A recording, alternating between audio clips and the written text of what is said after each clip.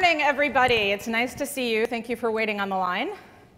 Uh, so, three quick things about me. I'm Amy Webb. How many of you were here last year? Just clap and make me, just clap. It'll make me feel better. Thank you. It's a nice welcome. Uh, so, I'm a quantitative futurist. I'm a professor of strategic foresight at the NYU Stern School of Business. Most of my time is spent doing uh, research in my office. Occasionally, I come out in public and, and show our research to other people. I'm the founder of the Future Today Institute. Uh, we work with all different kinds of companies on their futures and strategy all around the world.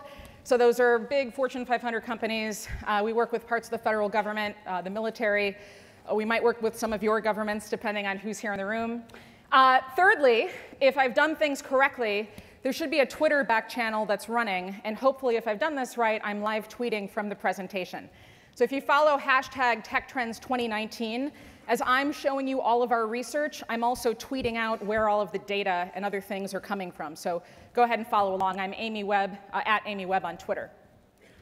Now, three quick things about you. Uh, you could be doing other things this morning. You've all self-selected to be here, which means that you're already paying attention to emerging trends and technology, which means that some of the research that I may show you is going to seem potentially a little familiar, but I can guarantee you that you're going to see it in a new way. You all play a vital role in shaping our future. Uh, and I believe that you have the power to create the best possible futures for all of us.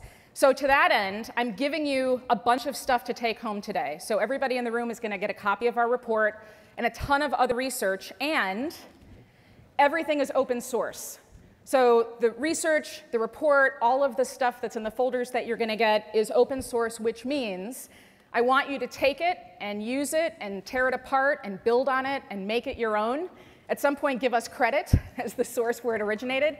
Um, but this really is yours. And the only way that we are going to get to a place that we're all happy in the future is if we're all making smarter decisions in the present. That is why all of this stuff is open sourced and as of a few seconds ago, online for anybody to download and use. Thank you. All right, so uh, this is the 12th annual edition of the report. Uh, it's been seen as of this morning by seven and a half, uh, we've had seven and a half million cumulative views over the years. So this, the report's all over the place. Um, and this year, it's a lot bigger. So we included 48 futures scenarios. Sometimes when you're looking at emerging technology trends, if you don't see them in a broader context, and you can't visualize what might happen as the future wears on, you won't take any action. Therefore, we've put together 48 futures scenarios. 17 are optimistic, 20 are neutral, and 11 uh, involve catastrophic risk. We also included five non-technical primers because there are a lot of smart people running your companies and the places where you work, and they're making very difficult decisions on things like artificial intelligence and blockchain and genomics and extended reality and self-driving cars, but they don't necessarily have the technical knowledge um, or a broad enough understanding. So we wrote these primers specifically for non-technical people to help them get up to speed more quickly. So these are good pages you can rip out and share with your teams and the people that you work with. So this year, we have 315 tech trends spread across 26 industries. That represents a 30% increase from the number of trends that we had last year. And when I was putting all of these models together and we were mining all of the data and we were uh, mapping out patterns and you know, looking to see what the trends were, and I discovered that we were going to have a much bigger number this year than we did last year, and I told my staff, my staff was super, super excited uh, to get to work on this report. They were super happy, couldn't wait, really thrilled that it had grown this year. So it's big, it's really big, and I want to explain to you why. But first, let me contextualize what big means.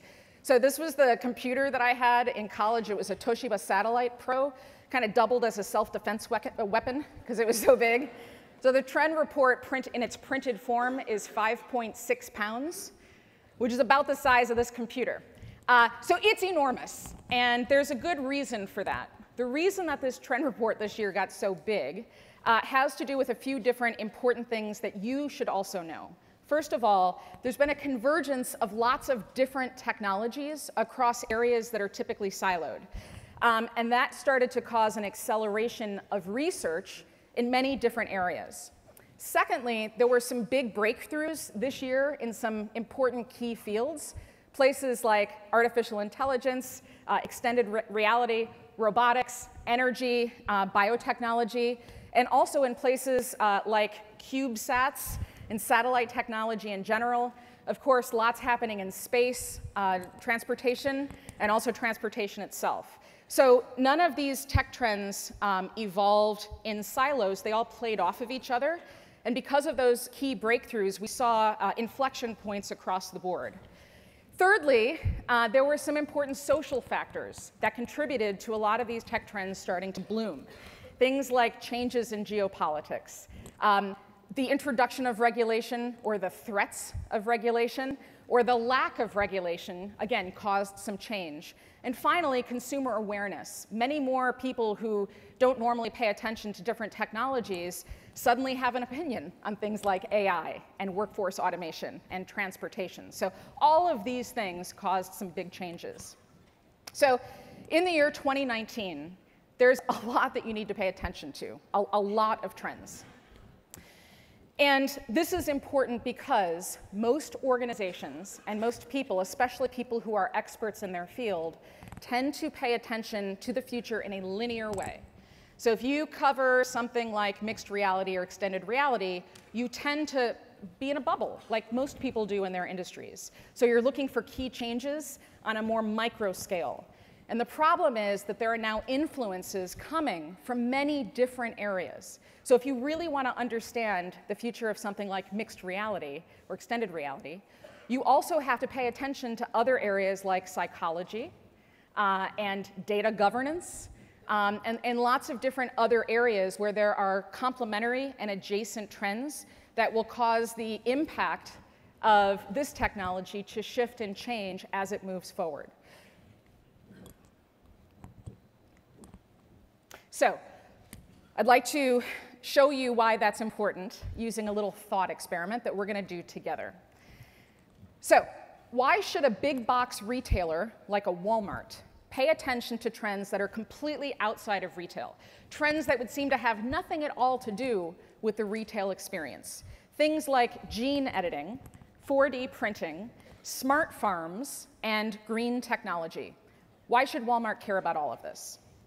Well, let's start with these non-retail trends, trends that seem to have nothing to do with their core business. And we'll start with genome editing.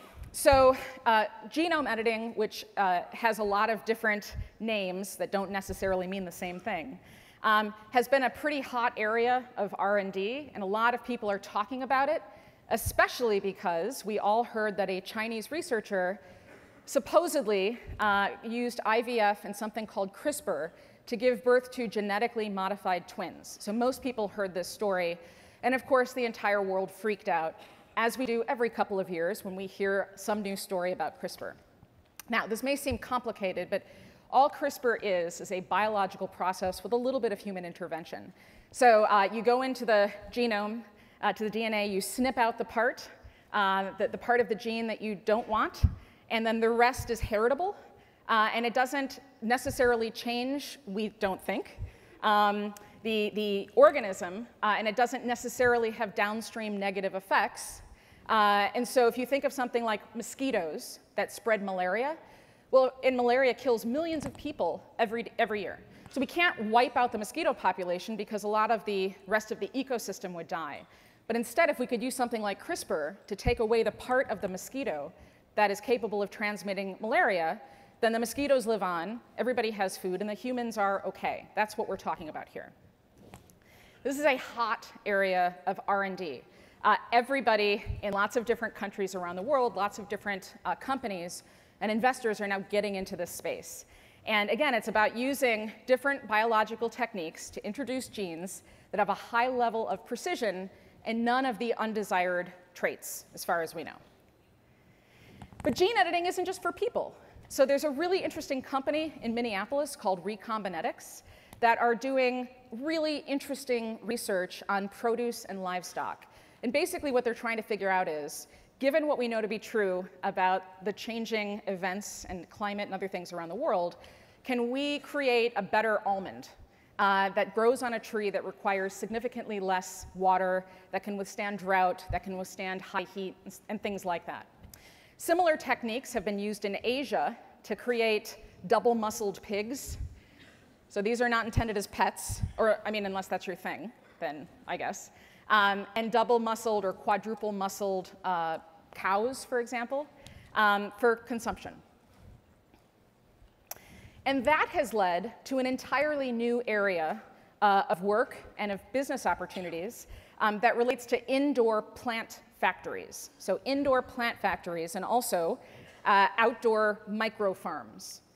So um, there's a ton of really interesting new underground farms in Japan and China where they're using some of these new biological techniques in enormous spaces, like warehouses that are 25,000 square feet, where you would normally do your logistics and your boxes and stuff like that. Um, they're now growing lettuce. And so if you look over there, you can kind of see some people standing in the pink area that look like Oompa Loompas. um, those are researchers, and um, those are indoor farmers. And what's interesting, this is an indoor lettuce factory. Um, they are able to grow about 100 times more volume of lettuce per square foot than out in the real world. Using 40% less power, they get 80% less food waste and use 99% less water. So it's much, much more efficient, and you don't have to have it outside. All right, so that's biology. Now let's switch over to that other trend that I mentioned. Why should Walmart care about 4D printing? Um, 4D printing, if you're not familiar with it already, is 3D printing with the added element that after the thing has been printed, if you add a next element, like uh, water or a chemical or air, um, that whatever you have printed transforms one more time. So this is some, it's an older project from MIT, and they've printed out a strand. Uh, they've they've uh, put some liquid uh, around it, and it continues the printing process, and it, in this case, forms MIT. Okay, so that takes us to green technology. Um, so there, you know, it, the weather's been a little weird, right, all around the world. Uh, er, last year there were firenados in California. This is like a Sharknado except with fire. Uh, and I have to imagine is terrifying if you were to see one. I'm laughing, but this is horrible. Uh, we've, we've got drought, we have unpredictable weather patterns all over the place. Um, and the challenge is that all of that affects farming and where our food comes from. So this is some research from the National Academies of Science and the USDA uh, here in the United States, which has recently shown that our crop production in the US is no longer uh, sustainable the, using our old methods. Um, that's because our groundwater tables have started to change, fertile soil has started to change because of erosion, um, changing and extreme uh, weather patterns are messing with our natural abilities to do farming the, way th the ways that we always have.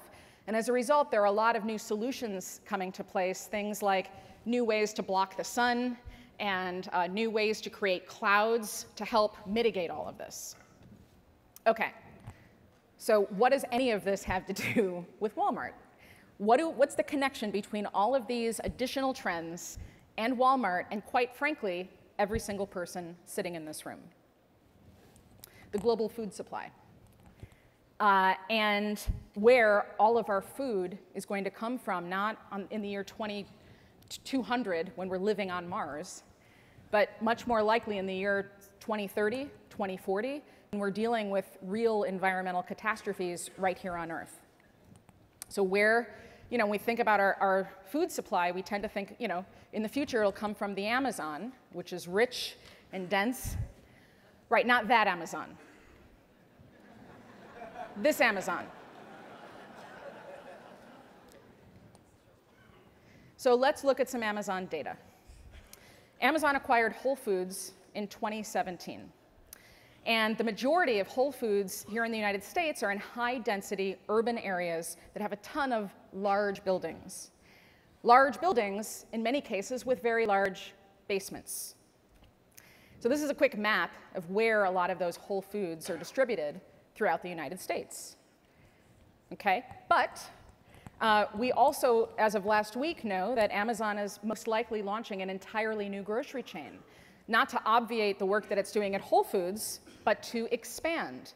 And as it happens, more of us are buying our groceries online than going to physical grocery stores. Uh, some of the projections that we've built show that online grocery sales could double in the next five years, up to or possibly above $60 billion by the year 2023.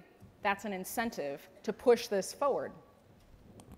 Amazon is also in some really interesting areas of R&D. They're working on sensors, they've got R&D and investments in life sciences, and of course, robotics and logistics and warehouses. So, if we connect all of these trends that your typical retailer is probably not paying attention to, what are the possible outcomes? Well, food of the future is grown from engineered seeds at indoor plant factories housed within the Amazon grocery store system in every one of our local communities. The implication of this is risk. Walmart uh, winds up having to compete where Amazon has significantly cheaper groceries grown nearby, uh, and Amazon not only kills Walmart, it kills big box grocery stores. Indoor plant factory to table is the new farm to table movement, which means we no longer need long distance produce shipping. So all of the trucking companies and logistics companies and the packagers and everybody else and the refrigerants that are used to get your celery, for your celery juice, uh, from California to the East Coast doesn't need to exist anymore, which means Amazon not only kills traditional farms, it also kills trucking companies. And it's plausible that we would no longer need to import or export soybeans, beef, and wheat, which could mean that Amazon unintentionally reshapes the global political world order. I appreciate the laughter. Some of you I hear sobbing towards the front of the stage. All right, but there's also some opportunity here. And that's the part that I'm interested in. The opportunity is how and where we get our food is going to need to change, not some time off in the distant future, but within our own lifetimes.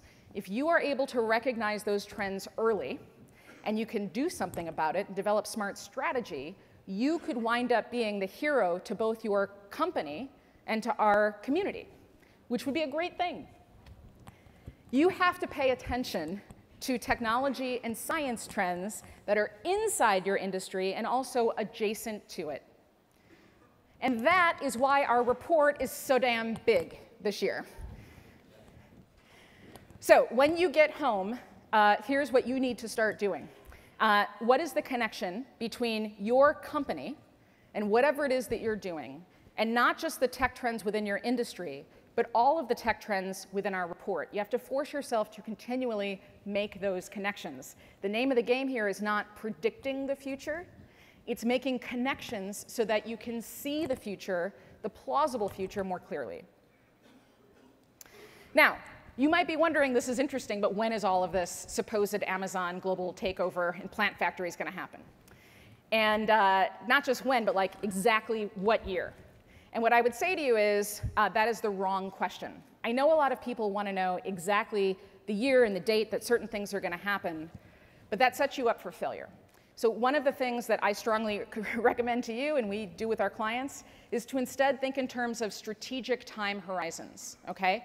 So basically, for the next couple of months, maybe the next 24 months, you should have a preponderance of quantitative data that you can look for. Uh, with more data, more evidence, and certainty, you can do tactical work. You can make tactical decisions about the future. But that must be in service of strategic planning, vision, and systems level disruption. So you can make your strategic uh, plan, which a lot of companies do in three to five year increments, but that should be done as you have less and less data in service of your vision for how you want whatever it is that you're working on to unfold. And that should be in service of not just how you want your company to look or your project to look, but in fact how you want the world to function. So when I hear people say, there's too much change happening too quickly, we can't possibly plan out much more than a year or our company doesn't do anything longer than 24 months, what I say is that's a terrible idea. You're wrong. Um, the best thing to do, because a lot of technologies are in flux, is to make the tactical decisions where you can, as long as those service things like your strategy and your vision and your ideas about what the world should look like. You have to, tra to track tech trends in service of your farther futures. All right, quick note on our methodology, and then we'll get right to it. Um, so this is a methodology that we've developed over the past 15 years. Um, we don't do your typical scanning and looking for keywords and headlines. This is a very rigorous, data-driven process. We rely on quantitative data where we can get it, qualitative data in other cases. And essentially what we do is uh, scrape up all this data. Uh, we run it through various different models and systems looking for patterns. Um, those patterns give us a sense of what the tech trends are. We then calculate their trajectory, uh, think about the strategic time horizons, and then build out scenarios. And the purpose of the scenarios is to make better decisions in the present. In the report, you're going to start seeing this on the screen. There are different pieces of information. Um, basically, what we're telling everybody is these are the key insights and what you need to know. Here's what's happening. Here's what we think is happening next. These are the companies and the people and the organizations to pay attention to. And finally, um, here's how we think you should think about taking action within your organizations. Now, trends evolve as they emerge. Nothing is linear. So as a result of that, sometimes trends um, converge with other trends and become new things. Uh, they typically don't drop off of our list entirely, but what you will see in the corner is the number of years that we've been following whatever this thing is. Um, so in this case, microsats sats, and CubeSats, we've been looking at now for four years. Um, and then finally, the worst possible thing that you can do is to look at a bunch of cool emerging tech trends and then go back to your day jobs. You have to get used to making incremental decisions on a very regular basis, daily if you, if you can. So we have this action matrix along with every trend that tells you, you know, if there's a high degree of certainty or a lower degree of certainty and what kind of impact whatever this thing is. Um, that indicates to you whether or not you need to act now it's going to inform your strategy. You're going to keep vigilant watch because it's early, or we're going to revisit it later. So I want to highlight, because there's a lot in the report, what I'm going to do is highlight some key findings uh, from the report this year. And I'm going to do that by taking a deep dive into two uh, trend clusters. After I take that deep dive, I'm then going to show you some plausible, optimistic, neutral, and catastrophic scenarios that describe what happens as these trends play out. Here's the first key finding. Privacy is dead. Welcome to South by. uh, so privacy is dead. You should have no illusion that uh, you are a private citizen anywhere. Um, but the twist is that's not necessarily a bad thing. So there are 16 trends in this area. There's a lot to move through, so I've color coded everything, and just so that we can sort of all follow the dot as we go through before we get to the scenarios. Um, I'm going to sort of explain to you what all these trends are, and I'm going to connect them as we go. So last year, I, the first thing that I told everybody was that um, it was the beginning of the end of smartphones. Um, and one of the things that we looked at were face prints uh, we looked at voice prints, uh, gesture technology, and generative adversarial networks. And so we're starting to see the convergence of a few of these different trends now in interesting new places. So this is the Byton, uh, this is called the M-Byte car that's coming out in China later this year. And it doesn't have any physical keys. It doesn't even have a key fob. The way that you open up this door of this car and hit the ignition is with your face. Uh, so your face print is stored in a central registry, and it's stored within the car. And if your face is the wrong face, the car doesn't turn on. Um, in the cockpit, uh, there's not a lot of buttons, so the whole thing responds to gesture and voice.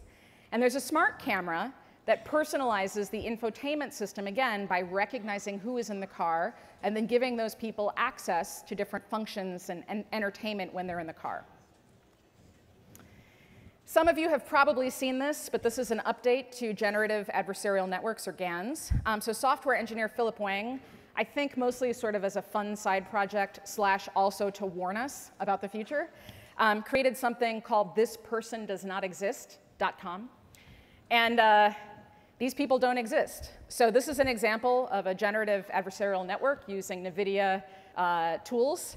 And as you can see, it's, um, if you hit refresh on that website over and over and over again, um, it shows you faces of people and backgrounds, and they all look totally plausible. They look real.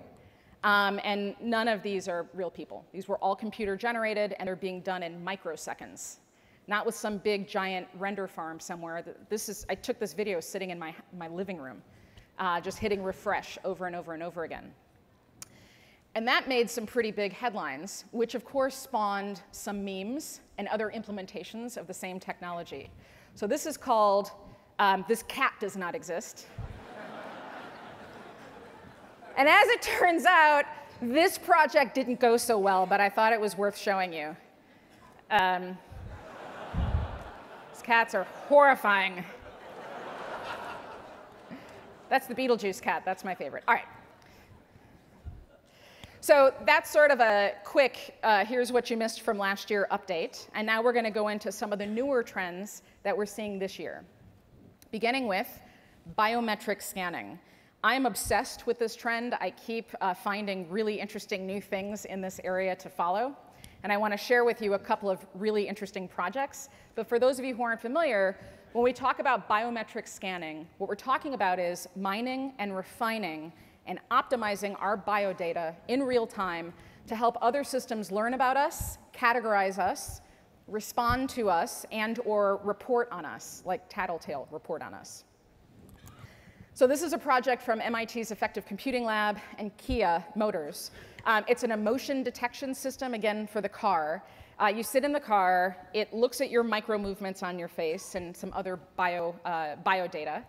And it is real time uh, detecting what your emotional state is as you're driving your car.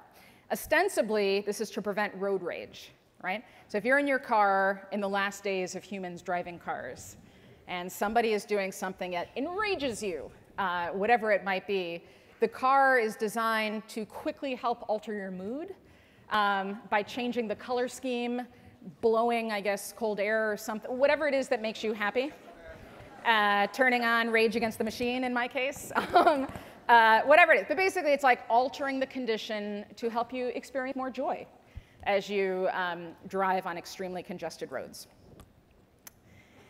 Amazon is also working on biometric scanning uh, for the purpose of detecting our emotion.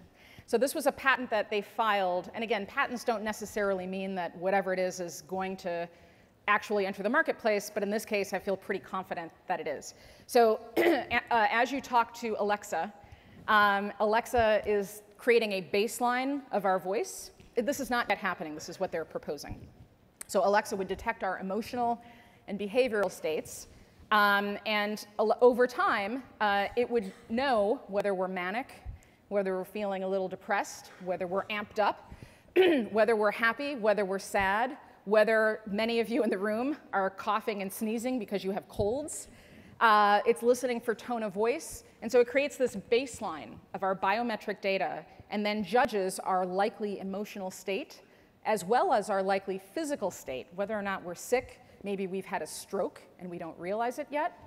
And um, all of this is to help, again, understand more about us and probably to suggest cough drops or tissue if it thinks that we're sneezing and maybe have a cold. There's a lot of other interesting ways that our bodies are being recognized. So the US military um, has, is working on bone recognition.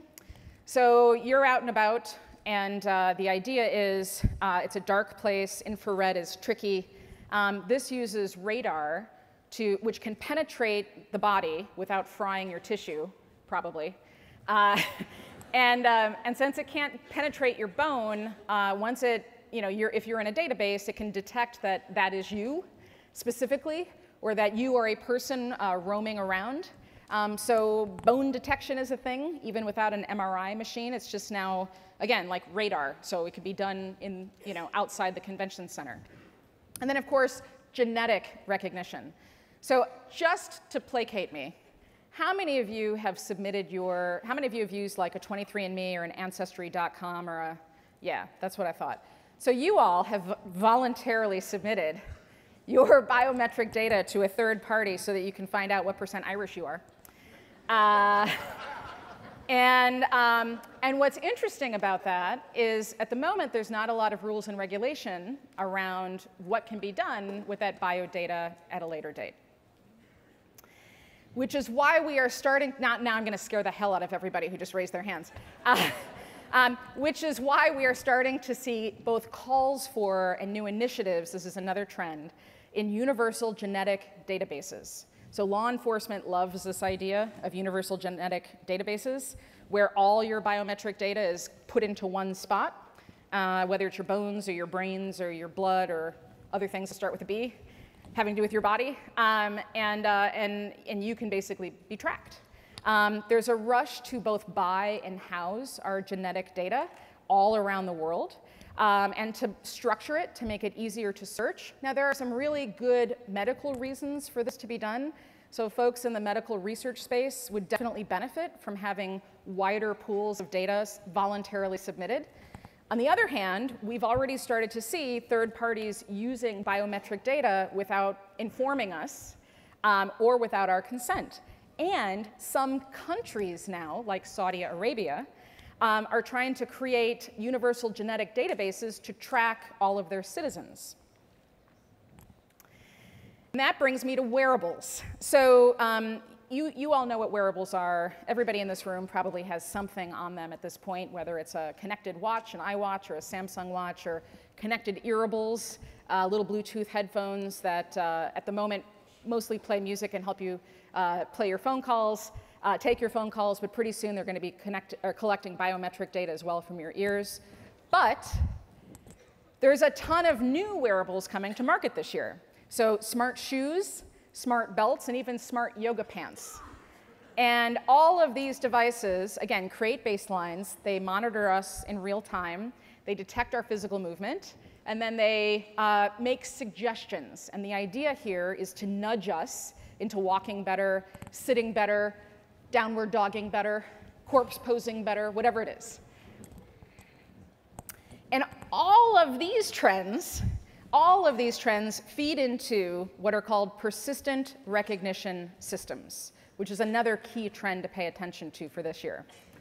Persistent recognition is really interesting um, these are systems that take all of this biodata and are constantly um, learning from it in some way.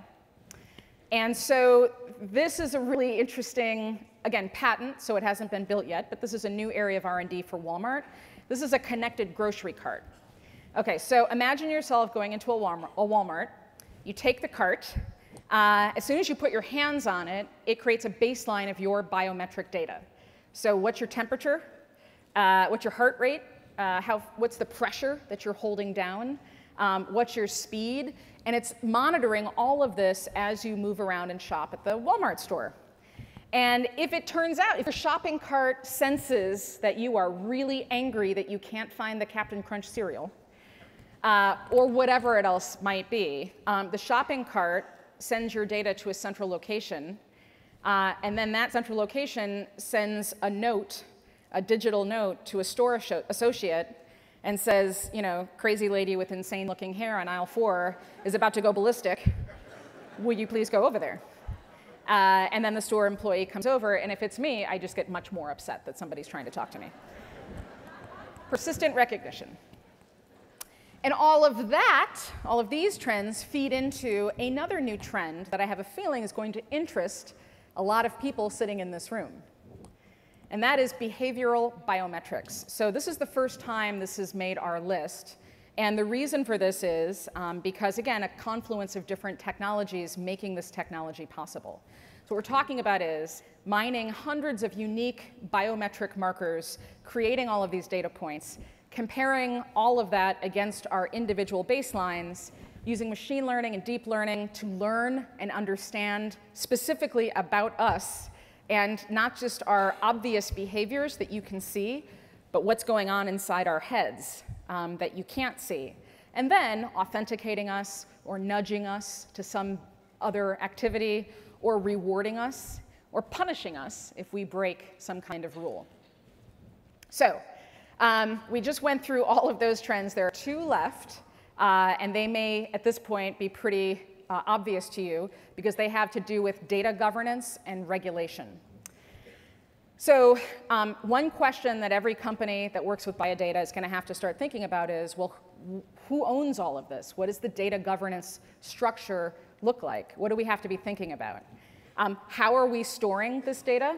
Uh, even if you're a third party that plugs into it in some way, who's in charge of all of this biodata from all of us? Um, how is it being encrypted? Should it be interoperable?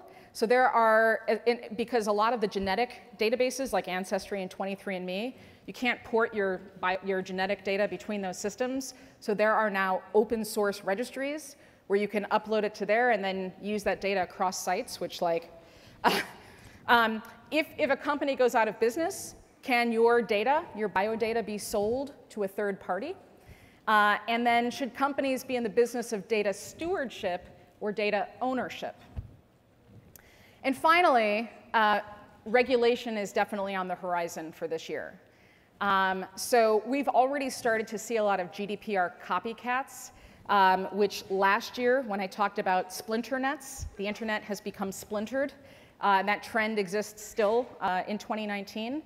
Um, we're starting to see copycats around the world in different parts of this country, the state of California, trying to figure out how to regulate uh, the internet. And can you even imagine what might happen when people try to regulate and do stuff with all of our biodata? So the name of the game again is not predictions, it's connections. So what I'd like to do is take all of those trends, and I'm going to now show you the connective tissue between all of them. Uh, and once we do that, um, we're going to start having some questions. So the questions that are on my mind are, who owns this stuff? Who owns your biometric data? Should you have a right to keep your emotions private, to keep your mental state private, and your other biometric details private from persistent recognition. How can your organization or your company use all of this biodata safely and ethically? And then that should lead to some existential questions like, who actually owns your DNA? Stop and think about that for a moment. Because guess what? We don't have an answer to that question. And if we don't have an answer to that question, then the next question is, well, could I at least trademark my DNA so that nobody else can copy it or use it in some way? And if it turns out that I don't technically own my own DNA once it's outside of my body, then who owns my body and all the stuff in it? These, I know these sound like crazy questions, but we haven't yet started to think about them, and there are people all around the world who want to now create regulations without thinking this through clearly. So we all have some big decisions to make, and that is why we use scenarios. So it's not enough to just know that these trends exist. You have to take action on them in some way. You have to start planning with them. That's why we use, as futurists, data-driven scenarios. These aren't like cool sci-fi stories, although they may sound like it. These are data-driven scenarios to help us confront these questions to help us confront deep uncertainty so that we can develop better strategy and prepare ourselves for the future in a better way. So as I mentioned at the beginning, there are three types of scenarios you're going to see. The first are optimistic. This does not mean utopian future where everybody is super happy. All this means is that we have somehow made the best possible connections using the data that we have available, and we have made the best possible decisions as a result. Therefore, the future should be better than it is now. It should be good. There are neutral scenarios, which is, well, what happens if we preserve the status quo? And finally, pessimistic or catastrophic, which is, what happens if we, in fact, make bad decisions? So I started with the key finding. There's many in the report, but this is our key finding, which is privacy is dead. Uh, and let's see how all of this plays out over the next 15 years. So, optimistic framing. Data collection is transparent. Uh, people understand how and when and where and why we are being recognized and monitored. It's the end of passwords. No more two-factor. It's amazing. If you lose your keys, totally fine. There's no boarding passes, no physical credit cards. You don't even need a wallet unless you really, really, really want to have one. Uh, you don't have to worry about driver's licenses. Biometric scanning is safe and secure. Technology enriches our lives. Privacy is dead, but we're okay with that. It's not a big deal. It's fine. Now here's the neutral framing.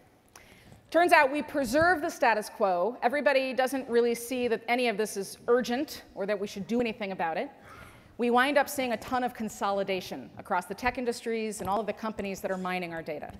Our biometric data gets locked into just a few different technology providers, which means that our data are not interoperable. But guess what? Neither are we humans interoperable across systems. Turns out there's a lot of bugs because nobody's collaborating um, authentication becomes annoying, and we start getting hacked in new ways that nobody saw coming. And then finally, I think the reason many of you are here is the catastrophic framing.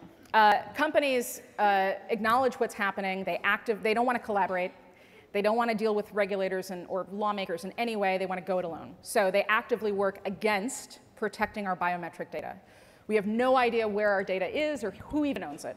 Regulation comes fast. Uh, splinternets give way to protected biodata zones, which means that we have a hard time moving in between places. The cookies that you have to keep clicking on when you go to websites, that, that, that means that when we go to physical places, we're constantly having to authenticate and check in and make sure that it's okay, giving permission that, are, that we're being mined and refined and scanned.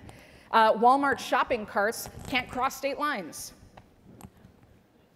There is a new economic and social class system, again, that nobody saw coming. Rich people can buy premium services to anonymize their biodata, but everybody else, they have their biodata mined and refined and productized. Authoritarian countries create universal genetic databases to monitor and most likely punish a lot of their citizens. So if I were to model this out, which I have, here's, here's, here's given where we are today, uh, I would say there's about a 10% chance of that optimistic framing happening, a 50% chance of the neutral uh, scenario happening, and a 40% chance of the catastrophic uh, framing happening. Okay, why don't we look at some more cats? There's a little palate cleanser. So we'll just take a couple of these. Yeah, I'm not sure what that one is. This looks like intestines on the outside. That's terrifying. It's a cat human. Okay, that's even worse. Uh, all right, so let's take our second little palate cleanser. Now let's take our second deep dive into the second area, the second key finding and the second area of trends. Um, and the second key finding is that your home is way smarter than you think it is. And these are all of the different, there's fewer in this, this, uh, this area, so there's fewer trends we're going to go through, but I've also color coded them for you. All right, so as I mentioned at the beginning, uh, last year I talked to you about the fact that our uh, smartphones are, uh, well, this is the beginning of the end of smartphones.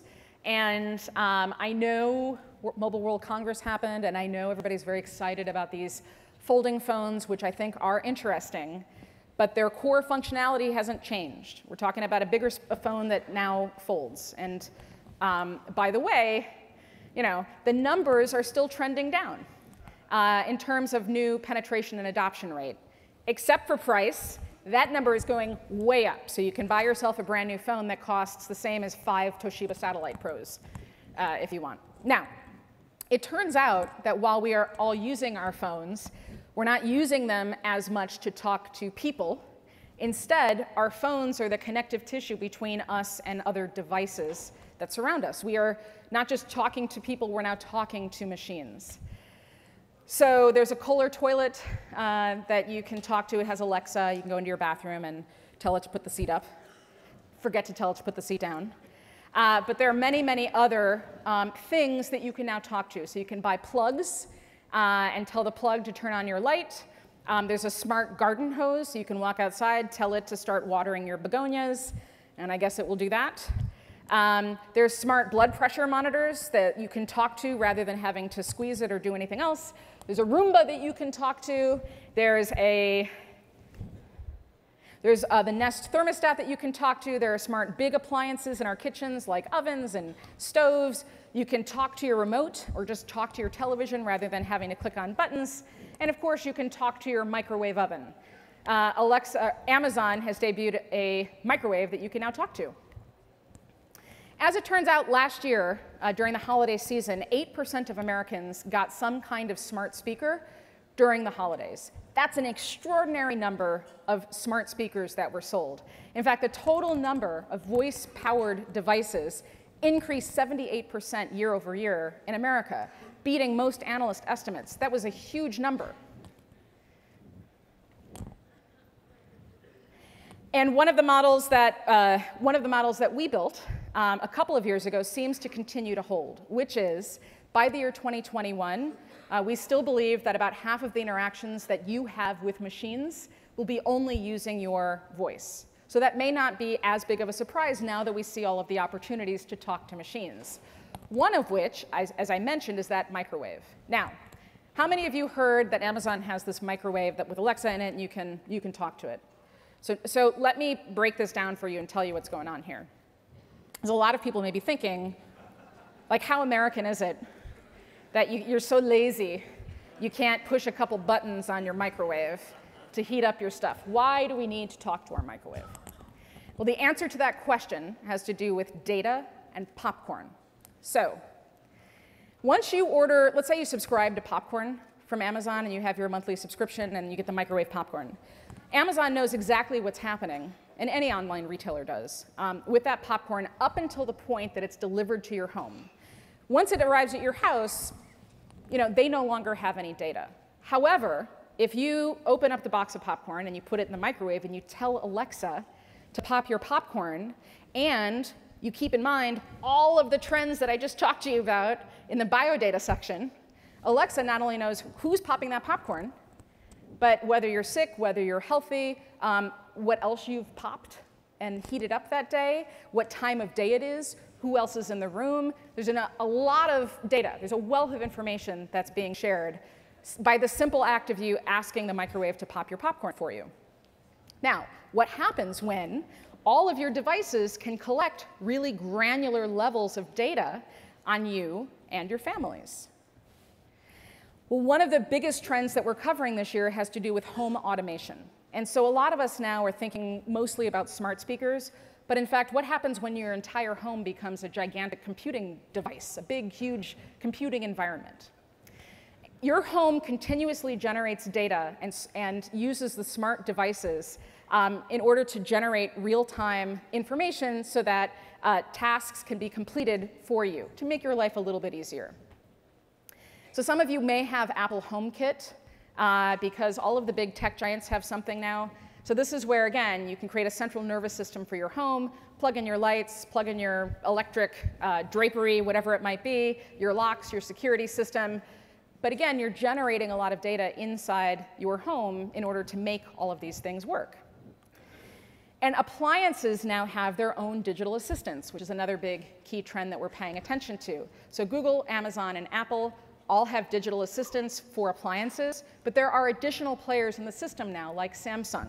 Uh, Samsung's Bixby is supposed to be in all of its devices by 2020, and of course, there are other players coming to market. What we're doing here, what these systems are doing, are not just tracking you, but they're making it so that the machines can talk to each other. Uh, so it's tracking interactions data, it's responding to commands, and then using predictive analytics to anticipate your needs to try to make your life a little bit easier all of this is intended to help us live more efficiently. But uh, it's also intended to help optimize our appliance energy use. So this one may seem like it's coming out of left field, but another key trend area in this space has to do with energy and energy use. So right now, similar to when, people, uh, when these companies deliver boxes to our house and then nobody knows what happens, energy providers know how much amperage that we're pulling from the system, so they know what we look like on the power grid, but they don't have any other information beyond that. That's where the big tech companies come into play. They increasingly understand our data and our energy usage patterns, which means that they have way more granular data about our individual energy consumption and our utilities consumption, not just energy, than the utility companies themselves. And home automation isn't just about home appliances. This is going to blow your mind. So, um, so in America, uh, our biggest home manufacturer is called Lennar. Uh, and last, uh, uh like 18 months ago or so, Amazon partnered with Lennar, which is the biggest home builder in the United States, to create Amazon Homes. Now, this is not just about getting a brand new home and putting a couple of Alexas in it. The whole thing is automated. There are sensors everywhere. So we're talking about cameras outside and smart locking systems and smart surfaces and smart stoves and smart microwaves. A technician comes when you open up and move into your home to not only flip the switch, but to tell you how everything works. And you don't have to worry about tech support because if something is broken, they already know. Uh, and and you, can get, you can get help. And as it turns out, Amazon homes aren't just in the cool parts of Austin or in San Francisco. They're everywhere. Um, so this is where I grew up. I grew up on the southeast side of Chicago, technically called Northwest Indiana. Uh, and um, that's cool, that's fine. Uh, but, but I grew up in a really blue collar neighborhood, so I would not call us like a, a like a, a good natural location for lots of high technology and incredibly smart homes. There is literally a cluster of Amazon homes 10 blocks away from where I grew up. It blew my mind when I found this out. All right, so if we combine all of that with one last adjacent trend, um, so, uh, so this is adjacent, but it's important. Big tech is also getting into healthcare. So, um, so all of the big tech companies in some way now have health initiatives that, um, that are pretty interesting. So uh, Apple is launching healthcare clinics. They're called AC Wellness, and they're intended for their employees. So these are on-site medical care systems, and it's not just about triage when you get sick. This is also about wellness. Um, but that system plugs into the stuff that, we, that the employees wear. So you've got your Apple smartwatch. Uh, pretty soon, when the AirPods come out that have the biometric uh, scraping capabilities, they might be wearing that. And this is to help uh, the healthcare system make sure that you're living your best life, your best uh, optimized life, get better sleep, stress management, healthier eating. Apple will help you with that. Uh, Google has been in healthcare, that, that sort of space for a very long time. Um, previously, I think it was in the mid 2000s, uh, Google had something called Google Health, which was intended as a new kind of patient uh, management system that you could port and take with you so that you had a better sense of what your health data was. Google's got Google Fit, they've got Android systems, they've got watches, they've got phones, and of course, the Brain division, which is one of Google's AI divisions, uh, is working on AI-powered systems for doctors and for hospitals. And then, of course, we all know about Amazon's healthcare plans. So there's the joint merger between Berkshire Hathaway, JP Morgan Chase. They're challenging incumbents on insurance, and they hope that the future of healthcare could look pretty different by the time that they're done. So now again, we have to make decisions uh, about all of this home automation. We have to contextualize it. We have to think about all of this in terms of our companies and also our personal data. So here are some data-driven scenarios, again, to help us see how all of this may play out in the future. And these scenarios cover the next 10 years. So this is for the year 2029. OK, so we started with, as it turns out, your smart home is way smarter than you think it is. And these were the different tech trends that we covered uh, that were grouped together. So here's your optimistic framing. Our devices work across platforms. They are truly interoperable. Our families easily intermingle with Google, with Amazon, and with Apple easily. They help us save time. They help us be better energy consumers. Um, we are nudged into healthier lifestyles. Smart homes are safe and fun. Don't laugh cynically. All right. I feel you. Neutral framing. We continue along this path without making a lot of big changes. We soon realize that, as it turns out, we can't just flip a switch and change providers. We can't change over our smart homes, our smart offices, our smart schools, operating systems, the same way that we used to change or try to change our mobile OSs. For those of you who have tried to switch between Amazon and Apple, think of that in home scale or company scale. We're frustrated. We're spending way more money and way more time than we thought we were going to have to. And by the way, we have very little choice. And now for the catastrophic framing. You are living in either a Google home, an, Apple's, uh, an Amazon home, or an Apple home, and so is all of your data. You have no idea eh, or understanding of how decisions are being made about you and for you. And as it turns out, your smart homes are now making decisions for you that you yourself wouldn't make. The microwave, which is connected to your Fitbit and your smartphone and your smart stuff, decides that you should be on a diet and you don't get to pop that popcorn. The washer decides that Austin's in a drought and you should be a better consumer of your utilities and you can probably get another out of those jeans. And you, who lives a 10 minute walk to work, should be taking your bike, but you're feeling a little lazy today. And your garage decides that it's not going to let you open it up so that you can take your car. You get to walk to work. Your smart home is a smart prison, and there is no escape. You may be able to unplug your smart microwave, but you can't unplug your whole family from the system.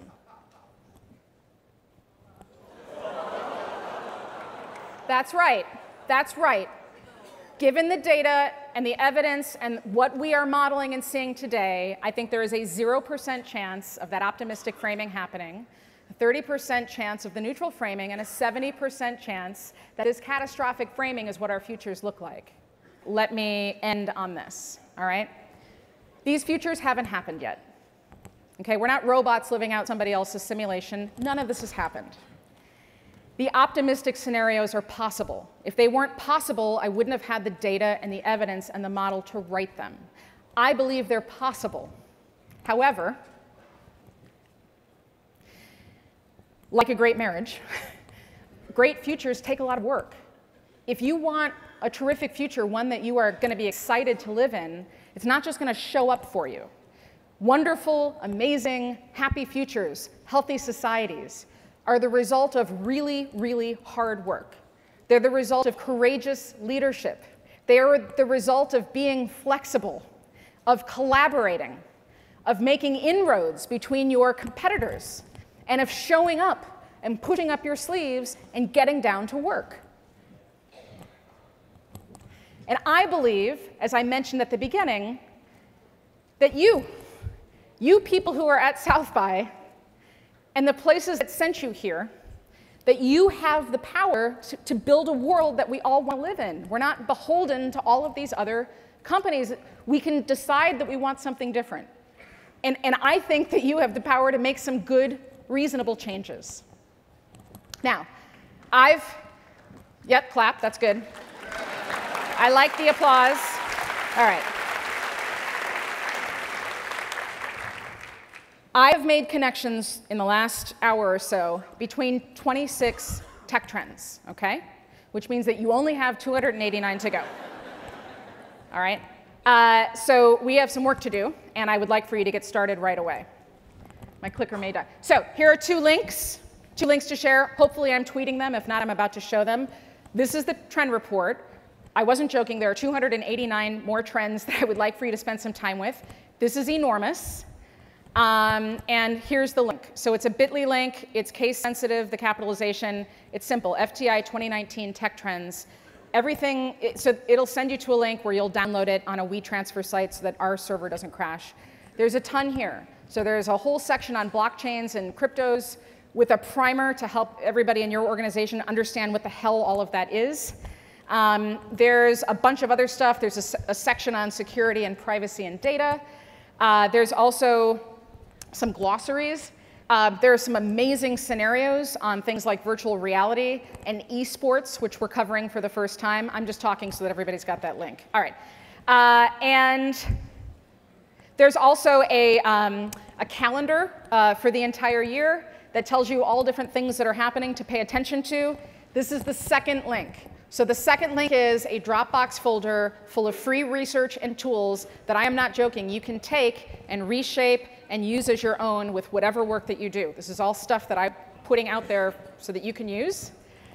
Um, I had some amazing co-authors. Uh, I work with a lot of my former and current students at NYU uh, who helped with some of the research. Um, our creative director the report looks amazing this year, was 38 weeks pregnant when she worked on this so ladies can get stuff done, even if they're pregnant.